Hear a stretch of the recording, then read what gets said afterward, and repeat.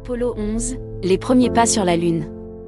Le lundi 21 juillet 1969, l'agence spatiale américaine la NASA remplit l'objectif fixé par le président John Kennedy en 1961 qui est de poser un équipage sur la Lune avant la fin de la décennie 1960. Apollo 11 est une mission du programme spatial américain Apollo. Son but est d'atteindre le sol lunaire. C'est la troisième mission avec équipage après Apollo 8 et Apollo 10. La fusée emportant l'équipage est lancée depuis le centre spatial Kennedy le 16 juillet 1969.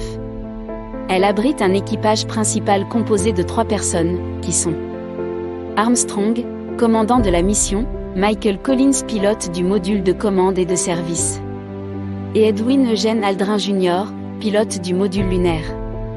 L'équipe passera au total 21 heures et 30 minutes à la surface lunaire.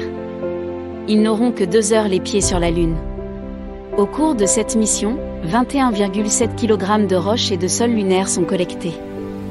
Le vaisseau Apollo revient sur Terre et amérit sans incident dans l'océan Pacifique. La mission aura duré 8 jours 3 heures et 18 minutes.